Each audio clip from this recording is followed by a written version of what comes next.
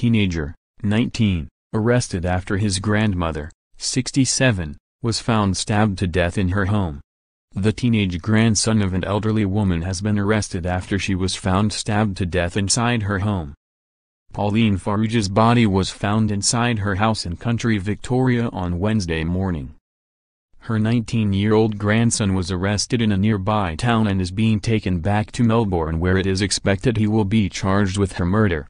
Ems Farrugia, 67, was found dead just before 11 a.m. She is the mother of five children and a grandmother. Police were called to her house after she failed to turn up for her regular game of bingo at the Penrith RSL on Monday. Her car was found dumped in a car park nearby, while her grandson's vehicle was found in Werrington County, a nearby suburb.